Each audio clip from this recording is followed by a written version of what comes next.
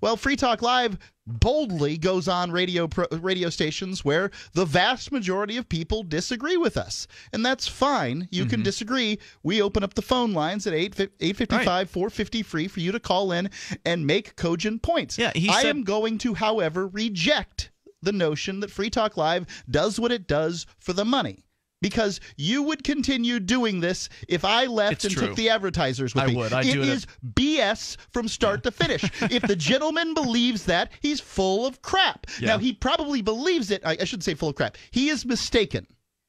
Hmm. And that's yeah, it. he's wrong about that. You're right. I mean, this is, and you know, Mark, they say in the business that you're not supposed to do radio from an ideologically sort of driven standpoint.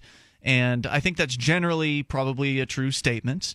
Um, but, you know, we're doing something that's a little bit different here with Free Talk Live because our ideology is not represented in uh, in talk radio. I mean, I guess, you know, if if every host on radio was a principled libertarian, then yeah, I mean, we wouldn't really have as much of uh, the, you know whatever clout we have because it would be harder. It would have been harder for us to get into the business. We and- would have never gone anywhere. yeah, and differentiate ourselves from uh, the rest of the Free pack. Talk Live is ranked the 42, 42nd most important radio program in America because, not because of its size. By because, Talkers Magazine. Right, by Talkers Magazine. We're on 150 something stations across the country. By no means are we the largest show in America. I wouldn't even say we're second tier. I mean, Right, and I wouldn't even, uh, you know, it's not because of our listener quantity, because we're not on the biggest radio stations in America either.